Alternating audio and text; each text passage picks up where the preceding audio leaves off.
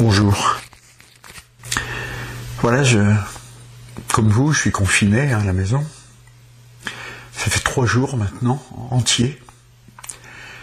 Et je vais pas tenir le coup, quoi. Je vais pas tenir le coup. J'en peux déjà plus. C'est dur.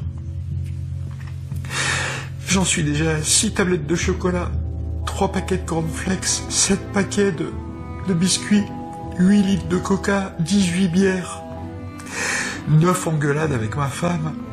J'ai puni mes enfants 81 fois déjà.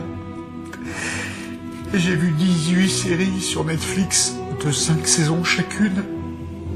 Je vais pas tenir au coup, j'en veux plus.